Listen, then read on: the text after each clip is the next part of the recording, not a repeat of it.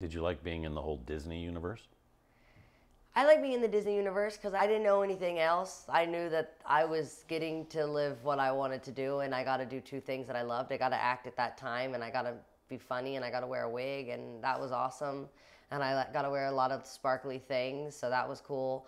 I think now that I'm older, now I realize that's a lot to put on a kid. It's a lot to put on mm-hmm. a kid to have them have to go get their makeup done and then also balance school and then also have me dress up you know in a wig as a kid is a little weird you know it's a little toddlers and tiaras. I think why people loved hannah montana was because hannah montana did feel real and that's because i was under there and people forgot that sometimes. And i loved being that character and so that's what made people love her. Mm-hmm. And they had, and honestly music is everything and all people want to have is great music. And for that audience for Yeah. what that was that was great music for Yeah. kids to listen to. Yeah. There's Yeah. a song called Life's What You Make It, so let's make it rock. Never forget that. Wise words. That's a good thing to tell kids.